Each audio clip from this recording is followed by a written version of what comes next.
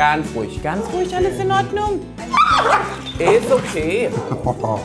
Holla. Du kriegst was an, Freund. Ja, also das geht nicht. Seit wann hat er das jetzt so, dass er so den Kopf schief hält? Das sieht das gemein aus. Er dreht sich wie so ein kleiner Drehwurm Ja. einfach. Was natürlich schwierig ist, ist die Narkose bei so einem großen Pferd, weil man den ja einfach im Umgang ist es nicht so leicht, den abzulegen, den wieder aufstehen zu lassen.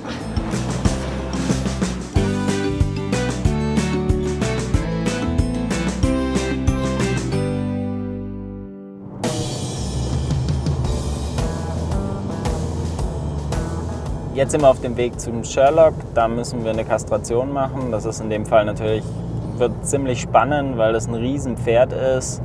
Und da muss man natürlich auch alles geben und das ist auch einfach körperlich anstrengend dann. Hallo, Großer. Hey. Das ist unser bestes Stück, unser Baby eigentlich noch. Der soll kastriert werden, weil es eigentlich unser Freizeitpferd ist und meine kleine Tochter mit sieben Jahren auch drauf reiten soll und mir das dann doch ein bisschen zu gefährlich ist, wenn Stuten mit in der Halle sind. Es ist ein Lebensabschnitt irgendwo. Das macht man auch nicht jeden Tag. Alles sehr aufgeregt, ja. Gibst du mir die Tasche, Mandy? Danke. Super, dass du heute dabei bist. Das ist ein Riese. Da müssen wir echt zu dritt sein. Der ist sehr stark. Aber er weiß es nicht. Hallo, Hallo. der Prachtkerl. Gut, okay. Bleiben wir einmal stehen. Halt. Halt. Okay. Ich würde ihn jetzt einmal abhören. Jawohl. Einfach Herz-Lunge, dass wir einmal gucken, ob alles soweit in Ordnung ist. Dann kontrolliere ich einmal, ob beide Hoden da sind. Und dann würden wir beginnen. Ja? Großer, komm mal her. Bleib stehen, alles gut, gell? Ähm, es ist einfach wichtig, dass wir wissen, dass das Pferd auch gesund ist vom Herz-Kreislauf-System, ähm, damit das Narkoserisiko einfach überschaubar bleibt bzw. nicht erhöht ist. So, dann würde ich einmal gucken, ob beide Hoden da sind. Mal schauen, ob er das brav machen lässt. Ist gut. Okay, beide da. Gut. Ganz tapfer. Okay. Dann würden wir ihn als nächstes ein bisschen sedieren. Dann schieben wir ihm einen Zugang, sprich, dass er eine Braunüle bekommt. Und dann äh, würden wir ihn in Vollnarkose legen. Wer spürt, dass ich aufgeregt bin oder nervös bin, das merken die. Und deswegen glaube ich, wird er jetzt gerade auch ein bisschen nervös. Ja, bei größeren Pferden ist alles gut, großer. Ist gut. Ja, Wahnsinn. Ist gut. Er mal. Och, großer, jetzt ist gut. Hey, stehen. Hi, hi, hi. Sherlock, Jetzt ist alles wird gut.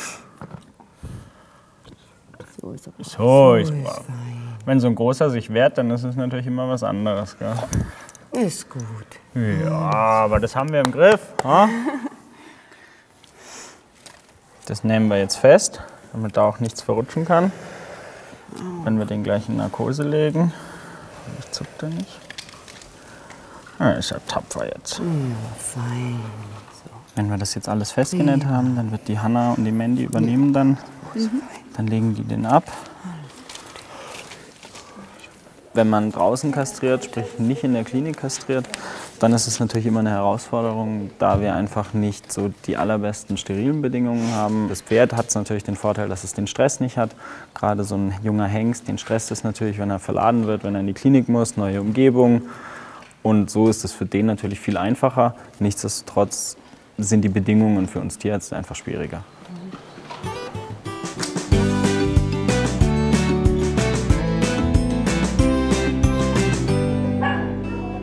Haben heute unsere fünf Ratten dabei. Eigentlich haben nur zwei im Moment konkret Beschwerden, aber wenn wir dann mal zum Tierarzt fahren, holen wir meistens alle mit. Karl niest sehr häufig und wir haben ein Antibiotikum zu Hause. Das können wir immer so mal als Kur verabreichen, aber das wirkt jetzt nicht mehr. Und die andere Ratte, der Nelson, der hält seit ein paar Tagen den Kopf schief und da muss heute mal geschaut werden. So, heute mit den Rädchen mal wieder hier. Dann dürfen Sie einmal mitkommen mit mir. Machst du zu? Ja. So. Okay, ich hab's jetzt. Dann einmal mir folgen. Genau. So. Hi. Na, die ganze Mannschaft kenne ich ja schon. Hallo. Hi. Oh ja, ich sehe gleich unser eines Sorgenkindchen hier auch mit Man sieht dabei. schon, wie er den Kopf hält, gell? Mm, Dann würde ich sagen, wir fangen jetzt direkt einmal mit ihm an hier. Schnellsten, gell? Genau.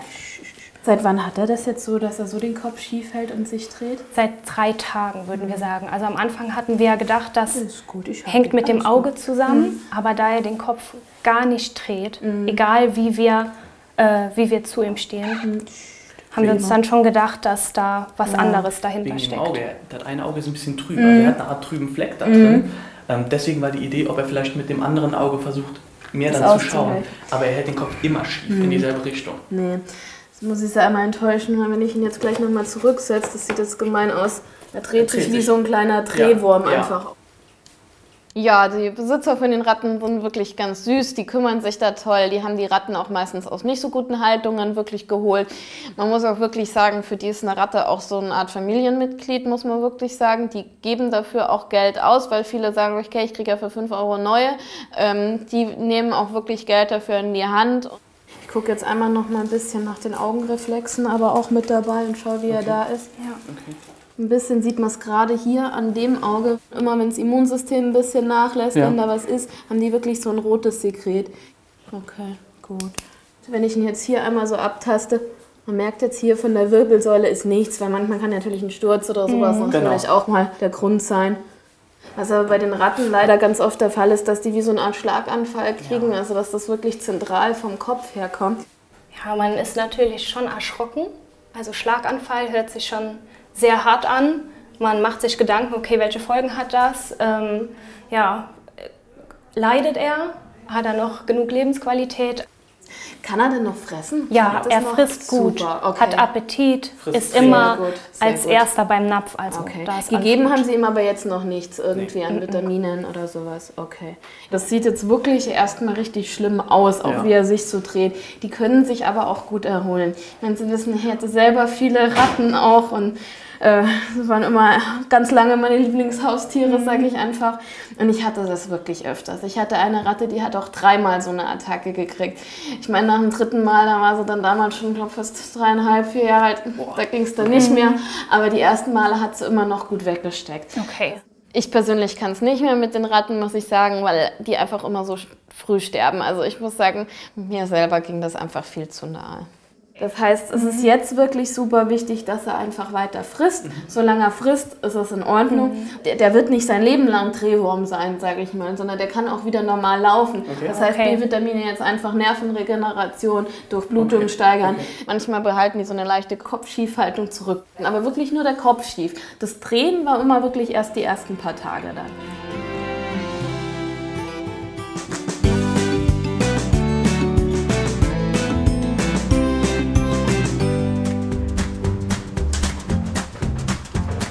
Hey Manu, wer ist denn unser nächster Fall? Die Familie Reimer mit dem Berli. Okay. Und der ist schon ziemlich aufgeregt. Den können wir dann ganz schnell mit reinnehmen. Super, dann gehe ich einfach mal direkt ins Zimmer, bereite schon was vor. Und dann hole ich die Familie direkt rein. Sehr schön.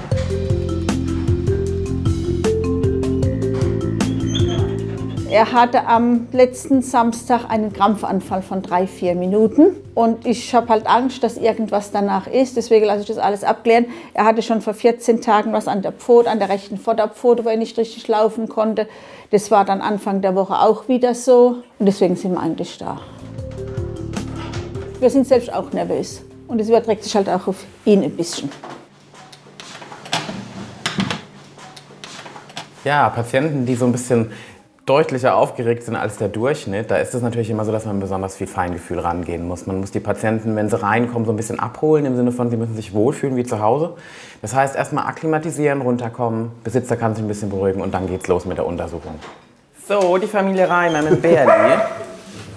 Hallo. Am Berli wir da neu. Ja, hallo. Hallo. Hi. Hi.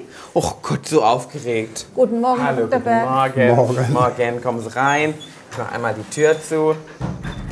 So, Ich würde vorschlagen, der Belly ist ja wahnsinnig aufgeregt, so ein bisschen panisch. Ja. ja? Wie immer. Wollen Sie sich, will sich einer erstmal setzen, der Hund nebendran, dass so ein bisschen, dass er runterkommen kann? Kann ich machen. Ja. Machst du es? Wir machen das ganz gemütlich Ja. wie zu Hause. Okay, beschreiben Sie mir mal, wie sah der Krampfanfall denn aus? Er So lag im- auf, auf dem Rücken, mit allen Vieren nach oben, hat gekrampft, die Schnauze war auf, wie ein Epileptieanfall. Okay, war er bei Bewusstsein? Nein. Okay. Jetzt heute, denke ich, fokussieren wir uns erstmal auf das Orthopädische. Okay. Bei dem Anfall würde ich sagen, das besprechen wir noch mal im Detail, falls noch ein zweiter auftritt. Der erste Anfall, da sagen wir in der Tiermedizin, ein Anfall ist kein Anfall, weil der kann viele Ursachen haben, im jungen Alter, im mittleren Alter. Das muss nicht bedeuten, dass es auch unbedingt ein epileptischer Krampfanfall ist. Sollte dieses Anfallsverhalten wiederkehren, dann machen wir weitere Abklärung und untersuchen weiter, was zu machen wäre. Berli, möchtest du einmal auf den Tisch? Sag nein, ich möchte heim. Oh mein Gott. Ehrlich, Berli möchte heim. ehrlich, bleib du. Genau, machen Sie ganz ruhig, nicht übertreiben. Komm.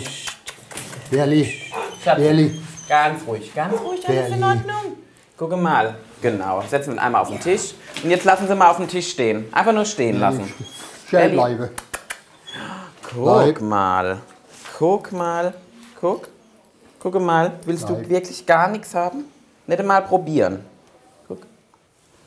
Ja, ich weiß. Das ist jetzt eine ganz krasse, aufregende Situation, gell? Berli ist halt so ein bisschen auch nochmal ein Sonderfall, einfach von seiner Vorgeschichte her. Aber es ist definitiv, die Rasse Spitz ist schon sehr oft auch mit so ein bisschen einem Kampf in der Tierarztpraxis verbunden. So. Wir machen das jetzt mal so. Wollen Sie einmal so ein bisschen rüberwechseln? Weil ich brauche den Hund in der Frontale. Ne? Erzählen Sie mir mal mit der Lahmheit. Wann hat denn das angefangen? Womit kam es? Wie sieht es aus? Wir sind montags morgens auf dem Weg ins Zentralinstitut gewesen und wir sind rein am Fernmeldeturm gelaufen. Einmal, Ist okay. Holla. du kriegst was an, Freund. Ja, also das geht nicht. Zum frischen Mal, Du kriegst ihn auch. Mein Gott. Das machen wir nicht, Freund. Ja, wenn du nicht, das geht nicht. Also Wollte mir auch nicht. keiner von uns möchte in irgendeine Situation kommen, dass er sich verletzt. Es ist nicht anders möglich. Der Hund fängt an zu beißen und dann muss man ihn irgendwie handeln können. Und dann ist meistens der Griff im Prinzip, dass der Mund wirklich geschlossen ist durch das Band vom Maulkorb, einfach die einzige Option. Und auf einmal hat er das Bein hoch und das Bein nicht, die Vorderpfote hoch, nicht mehr runter. Mhm. Ganz, bloß ganz kurz kumpel, dann habe ich gleich abgebrochen, bin nach Haus. Keine Treppen, kein Rennen, Nix, kein Springen, nix, gar nichts. nix, nix. Auch ein Hund kann sich mal verzerren, auch ein Hund kann eine Verstauchung haben. Das muss nicht immer gleich was Großes, Dramatisches bedeuten. Wichtig ist halt immer zu wissen, was ist davor passiert, was ist dazwischen passiert, wie hat der Hund sich verändert über die Zeit, bis er jetzt hier da war. Es ist halt immer so eine Sache, wie weit geht man da jetzt auf größere Diagnostik? Ähm, ich würde jetzt erstmal Folgendes vorschlagen. Also mir wäre es ganz recht, wenn wir doch mal gemeinsam noch mal rausgehen. Ähm, trauen sich zu, so ein bisschen zu rennen? Deiner? dass ich beurteilen kann. Sei so gut.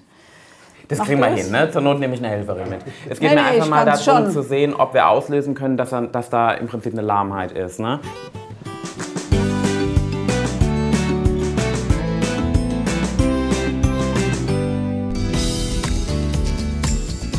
Das hier ist der schöne John Boy. Der ist seit zwei Wochen bei uns und ähm, ich wollte ihn untersuchen lassen, weil ich ziemlich schockiert war, weil er neulich so einen Hustenanfall hatte, der aber aussah, als ob er Atemnot hätte. Und das wollte ich abklären lassen von der Frau Noll. Äh, zum anderen finde ich, dass er sehr vorsichtig springt. Und ähm, da er schon neun Jahre alt ist, ähm, wollte ich gerne, dass sie mal guckt, ob er vielleicht Arthrose hat. Also die Vorteile der mobilen Praxis sind für mich, dass ich mir meine Termine relativ flexibel einteilen kann, dass es äh, nie langweilig ist, weil ich immer mm, was anderes äh, zu sehen bekomme. Ja, und eigentlich ist es für die Tiere auch schöner, weil sie weniger Stress haben, nicht zum Tierarzt gefahren werden müssen. Ich kann sie auch äh, in ihrer natürlichen Umgebung beurteilen.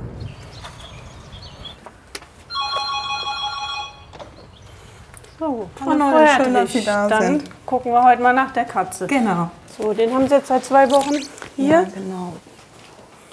Dann gucken wir mal, wie er sich so gibt. Hm? Ja, kommst du mal her zu mir? Wann war das mit dem Atemnotsanfall? Sie hatten mir schon mal ein Video Freitag geschickt. hatte Am Freitag. Ihnen geschrieben. Ja. Und das war nur einmal? Das war nur einmal, aber ja, so heftig, dass ich dachte, Ja. äh, der erstickt mir Ja, gleich. und ja. was mache ich da bloß? Wie lange hat das gedauert? Ähm, etwa so lang wie das Video war. Ja, also es war okay. halt gerade das Glück, dass Ja. ich äh, ihn fotografieren wollte und dann fing das Okay. an und dann habe ich halt schnell gefilmt. Ja. Können wir uns das Video vielleicht noch mal gerade kurz anschauen? Ja klar, ich habe das auf dem Handy. Moment. Aber Sie haben jetzt nicht gesehen, dass irgendwie die Zunge bläulich geworden ist oder danach war es dann alles. War er auch fit? Ja. Die Züchterin sagte, dass das mehrere ihrer Tiere haben und dass man da keine Bedenken haben muss, aber Ja, abklären muss man schon. Es gibt halt mehrere Ursachen dafür, dass zweite Meinung. Hustenanfälle bekommen. Ne? Oh ja, Genau. du hast auch ein bisschen die Haare verfilzt. hä? Also ein Husten an sich ist erstmal nicht vererbbar. Also wenn sie alle husten, liegt eigentlich der Verdacht nahe, dass was Infektiöses ist. Wenn der Husten herzbedingt ist, diese Herzerkrankungen, die vererben sich zum Teil, ja. Aber es ist natürlich unwahrscheinlich, dass dann da irgendwie alle Tiere in einer Zucht husten und alle ein Herzproblem haben. Ich denke mir, dann würde der Züchter auch nicht mehr züchten. Der müsste ja auch irgendwann mal zum Tierarzt und der Tierarzt wird ihm dann ja vielleicht auch ans Herz legen, die Zucht dran zu geben. Oder die müssen ja auch Zulassungen erfüllen. Also das ist eigentlich eher unwahrscheinlich. So. Hier. So, also auffällig ist schon, dass sein Herz sehr schnell ist. Ich meine, es ist er aufgeregt. Das ist aber auch nicht richtig abgesetzt. Normal hat man immer diese zwei Herztöne, budup, budup. Im Moment ist es halt ein Staccato, was da schlägt. Und er atmet jetzt im Moment eigentlich auch noch relativ schnell. Es ist halt die Frage, ob man da nicht doch nochmal eine weiterführende Diagnostik macht, dass man entweder mal ein Röntgenbild macht. Also die Lunge war jetzt frei. Er hat auch keine, kein Atemgeräusch gehabt, wie es bei fürs Asthma typisch ist. Aber das ist oft eh nur nach, kurz nach dem Anfall oder vor so einem Asthmaanfall, dass man da so ein Hiemen und Gieben hört. Das hat er jetzt nicht. Also Asthma bei der Katze kommt häufig vor, ist nicht unbedingt rassetypisch. Also es sind öfter Rassekatzen überhaupt als äh, europäisch Kurzhaar, die das haben, aber nicht unbedingt jetzt Maine Coon. Herzerkrankungen sind bei der Maine Coon Katze häufiger als bei anderen äh, Rassekatzen, ja. gut. Aber das würde ja dann auch äh, in Sedierung passieren, ne? Das ist die Frage. Also ein Röntgenbild würde man sicherlich ohne schaffen. Das, die, wenn man eine Katze sediert, ist das halt je nachdem problematisch, wenn sie was mit dem Herzen hat.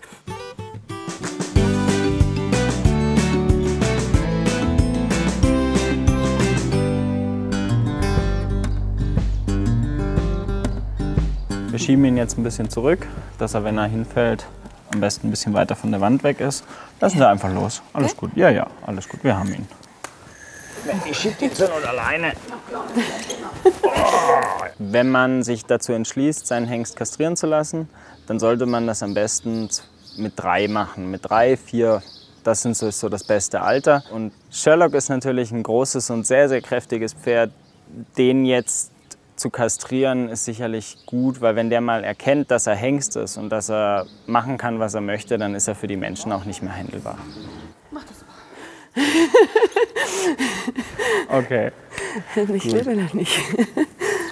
Das macht jetzt eigentlich keinen großen Unterschied, ob man ein großes Pferd oder ein kleines Pferd kastriert. Einzige, was natürlich schwierig ist, ist die Narkose bei so einem großen Pferd, weil man den ja einfach im Umgang ist es nicht so leicht, den abzulegen, den wieder aufstehen zu lassen.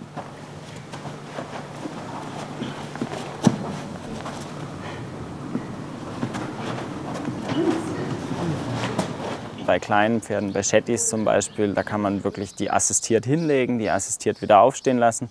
Bei so großen Pferden ist es dann doch manchmal nicht so einfach. Super.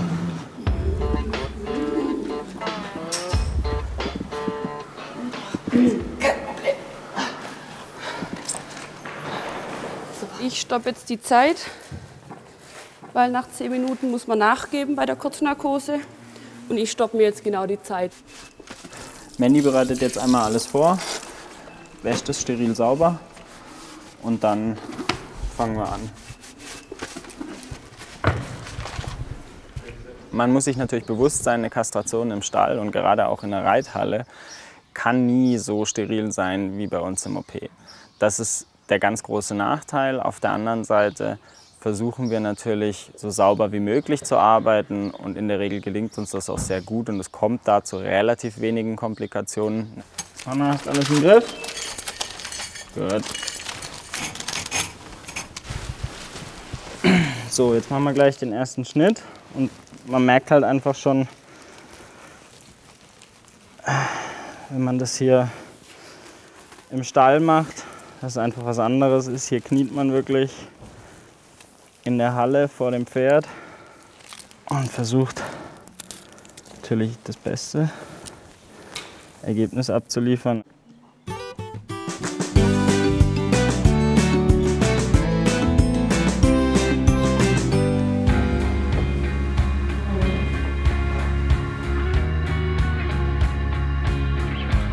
Das sind meine beiden Kaninchen, das ist die Silvana und die Loredana. Die ähm, wollte jemand nicht mehr haben. Ähm, das hier ist jetzt ein bisschen abgemagert. Ich schätze, dass die ungefähr ein bis zwei Jahre alt sind. Und ich nehme bei mir zu Hause so sämtliche Kleintiere auf, die niemand mehr haben möchte. Sei es jetzt Kaninchen, Meerschweinchen oder Hühner. Und gucke dann immer, wenn sie gesund sind, ob ich irgendjemandem eine Freude damit machen kann. Und ansonsten dürfen die bei uns bleiben.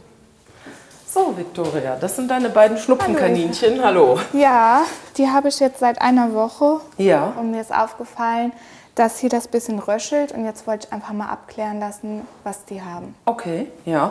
Ähm, hast du denn schon irgendwas gemacht mit denen oder bisher an Medikamenten Nein, oder gar nicht? nichts. Okay, gut, dann gucken wir sie uns mal an. Ich nehme den Korb, würde ich sagen. Ne? Ja. Genau, dass sie nicht rausfällt. Und dann gehen wir mal rein. Ähm, du hast sie jetzt seit einer Woche, hast gesagt. Was ist dir denn bisher aufgefallen? Also, so von der Symptomatik. Also das eine finde ich etwas dünn und das Näschen ist auch etwas Ja. gerötet. Okay, ich muss so kleine Maus, dann komm mal her. Gucken wir uns dich mal an. Ne? So, dann schauen wir jetzt mal nach den Augen und nach den Schleimhäuten. Die sind eigentlich schön rosa, wie man sehen kann. Die Augen sind zum Glück recht klar. An der Nase sieht man tatsächlich ein bisschen Ausfluss. Ne? Also man sieht hier, dass das so ein bisschen angeraut ist und dass das Näschen ein bisschen rot ist. Da sehen wir tatsächlich ein bisschen Ausfluss. Ne? Ähm, war der Ausfluss auch farbig, also irgendwie so milchig oder eitrig, also gelblich? Nein. Nix. Also klarer Ausfluss nur Ja. und dass die Nase halt so verklebt war. Ne? Genau. Das ist schon mal gut, okay. Nasenausfluss bei Kaninchen kann verschiedene Ursachen haben. Am häufigsten ist eigentlich äh, ein Schnupfen, der bakterieller oder viraler Art sein kann oder aber natürlich auch immer eigentlich als Differentialdiagnose ein Tumor. Die Lymphknoten sind ein bisschen dick hier unten, also die, die unterm Kiefer sitzen. Das kann halt äh, im Prinzip ein Zeichen für eine Infektion sein. Man hört sie auch so ein bisschen röcheln. Ne? Ah, die atmet aber noch ganz schön schwer. Ne? Es geht auch fast bis in die Lunge rein. Ich lasse die ähm, Tiere, die ich neu bekomme, auch grundsätzlich von der Eva untersuchen, wenn mir irgendwas auffällt, weil es mir schon wichtig ist, keins von meinen Haustieren zu verlieren, weil ich hatte schon mal ein kleines Meerschweinchen, das ist mir gestorben, das war einfach zu jung und hatte ähm, zu viele Krankheiten und mir fällt das auch immer sehr schwer, dann Tier wirklich gehen zu lassen und kämpfe wirklich um jeden bis zur letzten Minute. Also die röchelt noch ganz schön, vor allen Dingen hier vorne im im Halsbereich. Ne? Ähm, das heißt, also ich würde schon mal behaupten, dass die einen ganz schönen Atemwegsinfekt hat. Ne? Ähm, werden die denn draußen gehalten oder? Nein, ich habe die jetzt drin, die waren Jetzt vorher drin. drin. Die waren aber vorher draußen. Mhm, ich habe die Okay, jetzt ja. reingenommen, weil mir es aufgefallen ist. Ja, okay, das war auf jeden Fall schon mal gut. Gut, also ähm, ich denke, da werden wir auf jeden Fall mit dem Antibiotikum dran gehen müssen, ähm, weil äh, die Lymphknoten halt geschwollen sind, was auf einen Infekt hinweist. Und ähm, Victoria sagte ja auch, dass das Kaninchen ein bisschen vom allgemeinen Befinden her reduziert ist und die Atmung ist ziemlich angestrengt.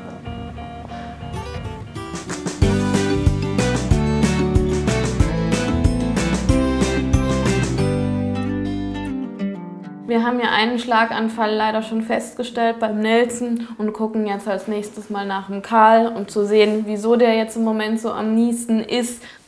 So, dann bin ich kurz gemein, mach das Handtuch weg und tu in dem Rattenhaufen mir mal den Karl suchen. Ich untersuche die immer am liebsten, wenn die bei mir so an der Brust sind, weil da sind sie noch ein bisschen entspannter und die Ratten von der Familie Neu sind zum Glück alle ganz handzahm. Man kann nicht immer alle Ratten so anschauen, weil es gibt manche, die hat man dann im Finger hängen. Du machst das super, Karl. Also wenn die Ratte zubeißt, dann ist das ordentlich. Ähm, das ist weniger das Infektionsrisiko wie beim Katzenbiss, aber es ist einfach so, dass das ordentlich wehtut. Die tackern auch den kompletten Finger durch, inklusive Fingernagel. Und das tut natürlich ordentlich weh und nicht der erste Tierarzt hat aus Reflex diese Bewegung gemacht und das war's mit dem Finger und mit der Ratte. Auf der einen Seite hat er auch so ein bisschen das Tränensekret rot. Ähm, wie lange ist Ihnen das schon aufgefallen? Bestimmt schon seit zwei Wochen jetzt Okay, der Fall. Also wir okay. haben es ja erst noch versucht Mhm. mit dem anderen Medikament, Mhm. aber da hatten wir den Eindruck, dass es Mhm. nicht mehr anschlägt. Okay. Und ähm, wie oft niest er am Tag? Bevor wir angefangen haben, nochmal mit der Kur, Mhm. hat er bestimmt, keine Ahnung, hunderte Male am Tag genießt. Okay. Und jetzt ist es eingedämmt bis Mhm. auf vielleicht 20, 30 Mal. Ratten haben fast alle Mykoplasmen in der Lunge, also einen bestimmten Erreger in der Lunge, den man, egal mit welcher Therapie, nicht zu 100% losbekommt. Das haben die oft schon von Geburt an von der Mutter übernommen. Das heißt, dass die Ratten niesen, ist leider so ein häufiges Thema. Hm. Man hört bei dem wirklich schon, dass er auch nochmal von der Lunge her Ja. ein bisschen verschärft ist, so als hätten wir so ein bisschen Schnupfen. Okay. Das kann ein guter Grund sein, wenn sie jetzt nur ihm was gegeben haben, dass es deshalb einfach noch nicht gegriffen haben. Wenn wir jetzt allen was geben, dass man bei allen sozusagen die Last senkt, dass das dann Ja. halt auch einfach besser Mhm. anschlägt mit dabei. Gell? Gehst du unter das Dickerchen? Ja, das ist schön. Ich komme trotzdem dran. Hm, das ist aber auch schön, wenn jemand am Schnaufen. Haben Sie hier auch schon mal rotes Sekret gesehen? Also bei ihm an den Augen eigentlich noch gar nicht. Okay, genießt? Selten. Ja. Ja, bei Ja. dem hört man jetzt auch schon ein bisschen was. Das Schätzchen ist frei, aber wir haben natürlich schon leichte Atemgeräusche auch bei den anderen. Ja. Das heißt, ich würde wirklich hingehen. Ich meine, Nelson kriegt nochmal eine Spezialkur wegen dem ähm, Vestibulär, also wegen dem Schlaganfall sozusagen im Moment. Aber wir sollten auch den anderen allen was fürs Immunsystem geben und ich würde tatsächlich mal nochmal eine Antibiotikumkur machen, aber auch nochmal wechseln. Dass man Mhm. wirklich auf ein Antibiotikum auf ein anderes nochmal geht, denen das allen gibt, auch Nelson, aber Nelson noch ein bisschen mehr und allen auch noch was fürs Immunsystem mit dabei. Gell? Ja, okay. Das Gute ist, dass Frau Tonner ja relativ erfahren ist Mhm. äh, mit Ratten und da eigentlich immer ein sehr gutes Händchen hat. Deswegen gehe ich schon davon aus, dass das gut funktionieren wird. Sie können ruhig vorne so ein bisschen, ja. genau, so ein bisschen knuddeln. Da sind jetzt, wie gesagt, einmal schon mal B-Vitamine drinnen und auch was für die Durchblutung. Super, oh ja, super gemacht. Oh, okay, ruhig Nelson. einmal die Hand weg. Super, und wir reiben einmal noch kurz über die Stelle drüber. Oh, du bist so ein feiner Nelson Goliath. Gut, also wir haben es jetzt für aber heute soweit geschafft. Sie geben jetzt die Medikamente bitte dann ab morgen früh und kommen dann nochmal so in zwei Wochen ungefähr zur Kontrolle ähm, und melden sich mal zwischendurch, wie es aussieht. Ihre Ratten sind ja immer ganz zäh und kriegen super Pflege, also hoffentlich der schlimmste Schritt, der muss noch ganz lange auf sich warten. Ja, hoffentlich. Gut, Dankeschön. Ja.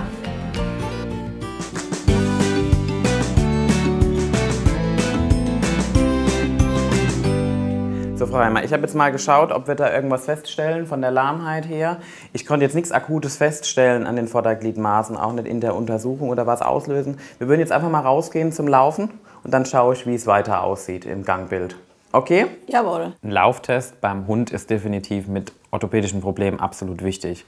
Wenn ich einmal sehe, wie der Hund hoch und runter läuft, kann ich beurteilen, wie er die Beine voreinander setzt, miteinander koordiniert und kann dann rückvollziehen, woher die Lahmheit potenziell kommt und worauf ich jetzt als nächstes zu achten habe. Also, Frau Reimer, also man sieht schon, dass da so ein bisschen Getipsel ist, ne, vorne an den Gliedmaßen. Ja. Und es ist so eine leichte O-Beinstellung. Das mag jetzt auch durch diese Entlastung so ein bisschen verstärkt sein. Ich bin mir trotzdem noch nicht so ganz sicher und möchte wirklich zu 100 Prozent ausschließen, dass da irgendwas anderes ist. Das heißt, wir gehen jetzt noch mal rein, machen ein Röntgenbild von beiden Gliedmaßen im Vergleich und schauen dann, was rauskommt. Okay. Okay? Okay. Berli, man merkt hier, der ist wahnsinnig aufgeregt. Den jetzt wirklich unter Stress zu setzen und in allen Ebenen zu röntgen, das kriegen wir nicht gebacken. Und auch jetzt zum Schutz von Allah, der kriegt jetzt einfach kurz einen Venenkatheter geschoben, kriegt eine kleine Kurzzeitnarkose, dass er so ein bisschen beduselt ist. Dann wird einfach die, das Röntgenbild gemacht und dann sollte alles gut klappen. Es ist natürlich so, dass wir dann in dem Falle doch die leichteste Narkose wählen und die leichteste Methodik, ihn zu beruhigen. Es bleibt aber immer ein Restrisiko. Und natürlich, gerade auch bei nur einem Röntgenbild, was man machen möchte, wägt man ganz genau ab, ist es jetzt gerechtfertigt für alle zu sagen, wir legen ihn schlafen für ein Röntgenbild. in 99% der Fälle werde ich alles darum geben, keine Narkose einzusetzen. So, Berli, gucke mal, da ist Familienzusammenführung. Hallo, mein Schatz. Hallo. Ja, bist wieder da. So, ich übergebe ihn wieder in Ihre Jawohl. Hände. Ja, mein Schatz. Mäusele. Jawohl. Frau Reimer, wollen wir einmal gemeinsam auf die Röntgenbilder Jawohl, drauf schauen und besprechen, was wir so gefunden haben? Mhm. Ne, da gehen wir einmal hier rüber. Nimmst du ihn bitte? Das hier sind jetzt beide Vordergliedmaßen einmal im Vergleich. Ne? Ich sehe hier jetzt auf der Aufnahme keinen Befund. Allerdings, wenn man jetzt auf den Ellenbogen geht hier, und jetzt schauen Sie mal, was sich hier auftut. Sehen Sie das? Ja. Ne, da ist so ein Stippchen. Oder ist es einfach ein Gelenkchip, ne, der da drin stört. Und sobald halt Berli seinen Oberarm bewegt, führt es immer wieder dazu, dass das dann so ein bisschen einklemmt. Und das kann halt die Schmerzen verursachen und auch dann einfach diese Entlastung, die er macht. Ne? Das heißt, dagegen kann man nicht viel machen, außer dass man erstmal schont, Schmerzmittel gibt und abwartet. Jawohl. Wenn das nicht weggeht, also beziehungsweise wenn das dauerhaft Probleme macht, dann wird man das über eine Arthroskopie entfernen müssen. Da sind wir aber jetzt noch nicht. Im Moment sieht es ganz gut aus. Ähm, wichtig ist aber einfach, dass Sie jetzt Schonung bewahren, Schmerzmittel geben und gucken, wie es sich entwickelt. Ja. Da gibt es zwei Tabletten. Einmal ein richtiges Schmerzmittel, was auch entzündungshemmend wirkt. Ne? Da Mhm. gibt es eine halbe Tablette ein, einmal am Tag für zwölf Tage. Okay. Und dann gibt es was, ähm, nochmal was leicht entzündungshemmendes, das Oh, ist den morgens und abends. ja. Das kennen Sie ja Kenn auch, ne? Gut, Ja. Frau Reimer. Dann würde ich sagen, Sie halten Ruhe und wir sehen uns zur Nachkontrolle so in 14 Tagen nochmal. Okay? Vielen Dank. Sehr gerne.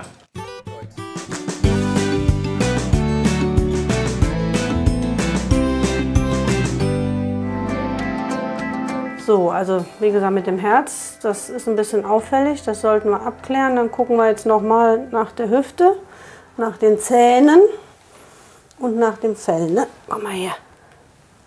Also mir ist das auch gerade aufgefallen, dass er so ein bisschen Schwerfällig. schwerfällig ist und auch hat sich nicht ganz katzetypisch hingehockt. Hör mal. Komm mal her. Ach, komm mal her. Ich will dich doch gar nicht so ärgern. Hm? Problem ist, dass Katzen in der Regel nicht festgehalten werden wollen. Und wenn man sie untersuchen möchte, muss man sie festhalten. Und äh, ja, da muss man gucken, wie weit man ohne, ich versuche es immer so, so wenig Gewalt wie möglich oder so wenig festhalten wie möglich. Äh, aber manchmal kommt man halt nicht drum herum, muss sie dann nehmen und dann muss man sie meistens wirklich im Nacken nehmen und irgendwo mit dem, sich mit dem, zwischen den Beinen dann noch fixieren, dann geht das. Aber dann haben sie natürlich Stress in dem Moment. Das kommt, aber das versuche ich immer, das sieht man oft schon, wenn man reinkommt, ob die ängstlich ist, ob sie eher aggressiv ist oder ob sie ganz entspannt ist. Ach, guck mal hier. Oh, der hat eine Kraft. Ja, der wird schon um seine, seine 10 Kilo haben. Ja. Ich will ihn auch nicht so hier knebeln und fesseln, das ist er wieder unterm Bett. Also oft sieht man schon beim Reinkommen, die ist ängstlich, die guckt, was macht die jetzt, wie nah kommt die mir. Und manche kommen ja dann auch. Also ich versuche die erst zu ignorieren und unterhalte mich mit den Leuten und spreche erst mal, was anliegt. Und manchmal kommen die und streichen einem um die Beine. Dann weiß man, das wird was. Und wenn die schon in der letzten Ecke sitzen und versuchen, den Raum fluchtartig zu verlassen, dann äh, weiß man, dass das auch vielleicht ein bisschen länger dauert. Guck mal hier. Sag, die Tante schon wieder. Komm. Bei mir kommt er jetzt bestimmt nicht raus. Komm, Schatz. Komm mal her. Komm mal, Ja, das haben wir natürlich häufig, dass die Tiere in ihrem eigenen Zuhause mehr Rückzugsmöglichkeiten haben als in der Tierarztpraxis. Da sitzen sie auf dem Tisch, da kann die Helferin mit fixieren und hier in dem Haus kann sie sich natürlich zurückziehen und dann wird es manchmal auch schwieriger, die wiederzufinden. Aber die Zeit muss man sich nehmen. Und letztendlich ist es für die Katze weniger Stress, als wenn sie in den Transportkorb muss und in die Praxis muss und wieder nach Hause fahren muss. Hm?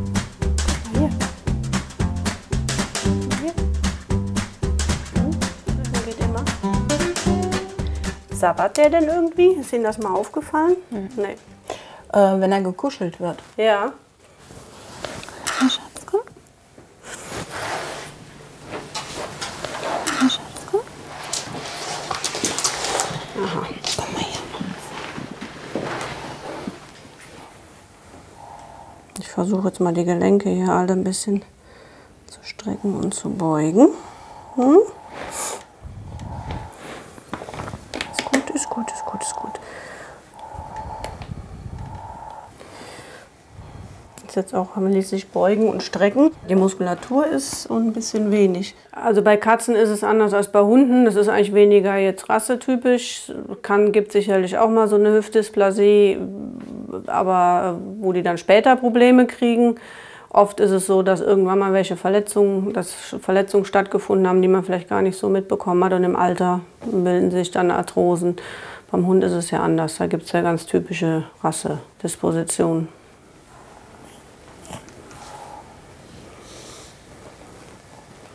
Komm mal hier, lass mich mal tasten. Tut dir das weh?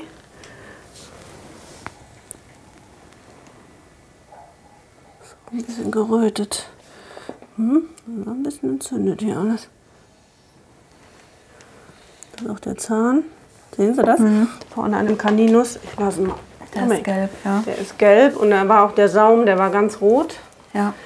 Also da hat er auch ein bisschen Zahnfleischentzündung. Also auf der Seite schlimmer, wo da, ähm, wo er das sabbert.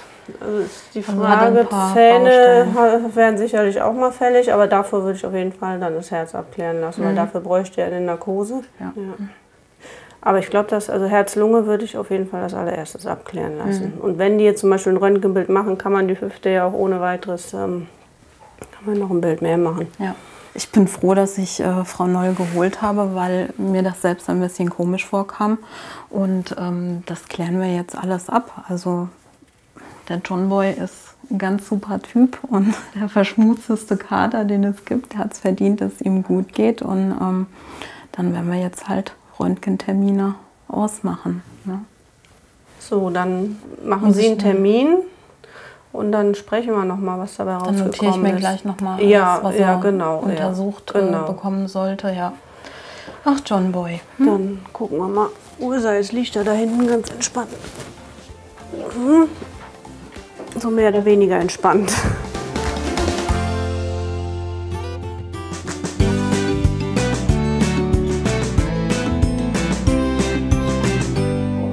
So, Victoria, die Voruntersuchung haben wir ja jetzt gemacht.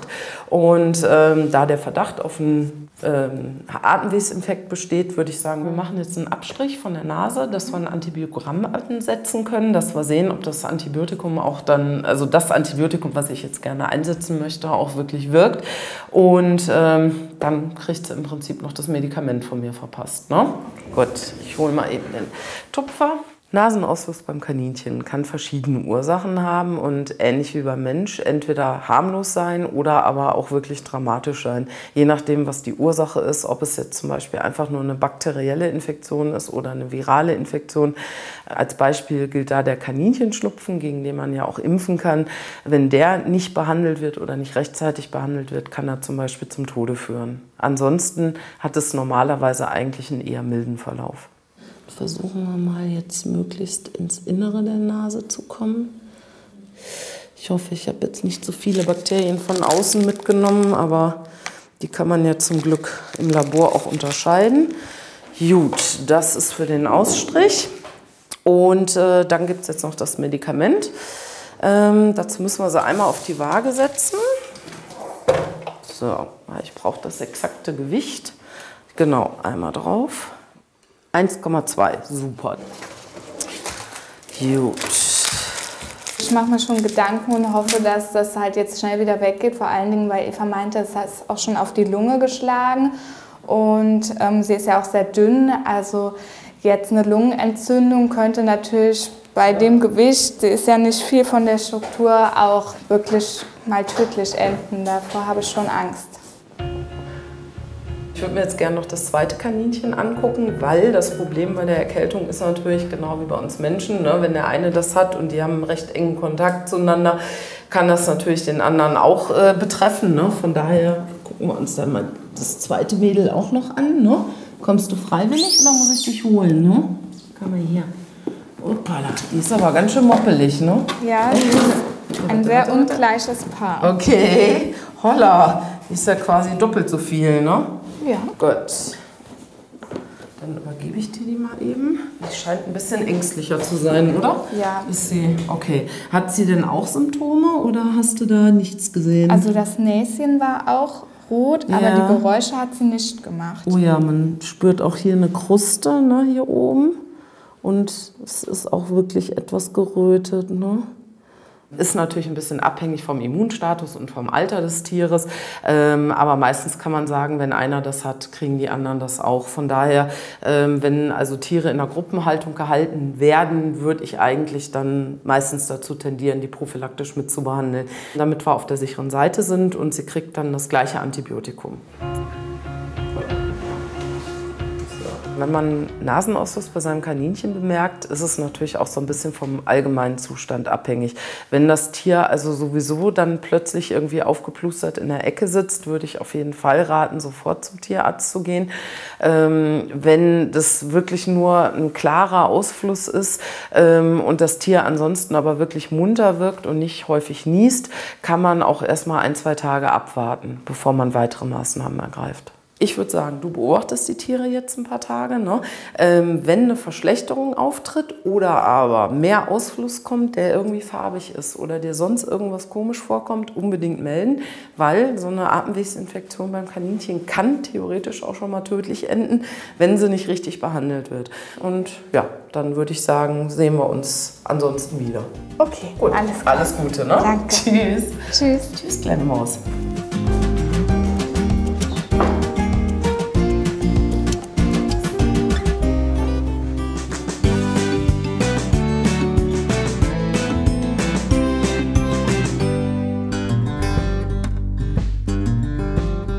Der Sherlock ist eigentlich ein ganz, ganz handsames Pferd.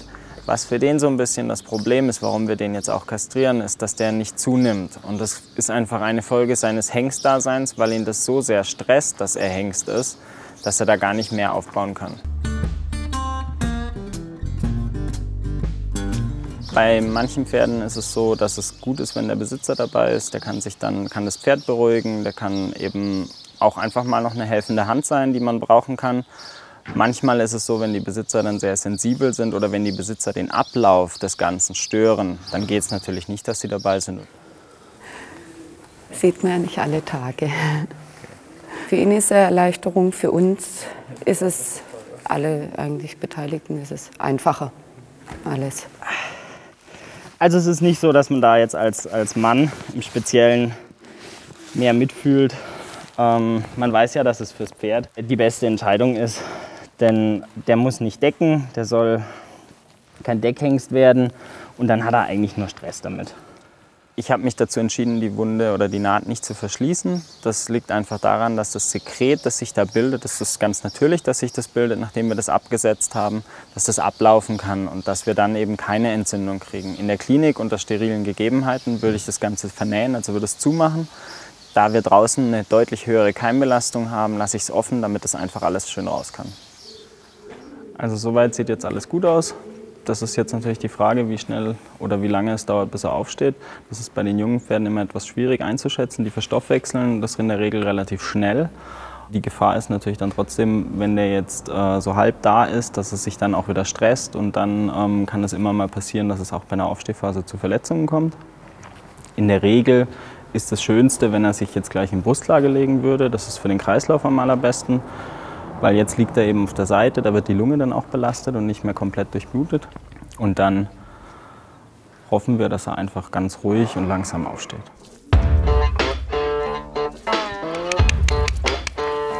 Auf, komm auf. Der steht gleich auf. Oh.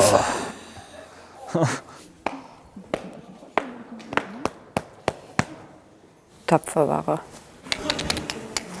Komm hoch, jawohl. So, ist gut. Alles Lang. gut. Alles gut. Super. Ist gut. Rola, stehen. Die Füße noch nicht sortiert. Ist gut. Stehen. Nach einer Kastration geht es relativ schnell, dass die Pferde wieder fit sind. Die Narkose haben sie eigentlich nach zwei Tagen komplett überwunden. Und den Eingriff vom Schmerzhaften her sollten sie nach einer Woche eigentlich schmerzfrei sein. Jetzt hat er das Schlimmste erstmal geschafft. Ja. Er steht wieder, das ist das Allerwichtigste. Ja. Jetzt müssen wir ihm noch so ein bisschen Zeit geben, weil er noch so ein bisschen wackelig auf den Beinen ist. Aber jetzt hat er wirklich das Schlimmste hinter sich. Jetzt hast du es geschafft, gell?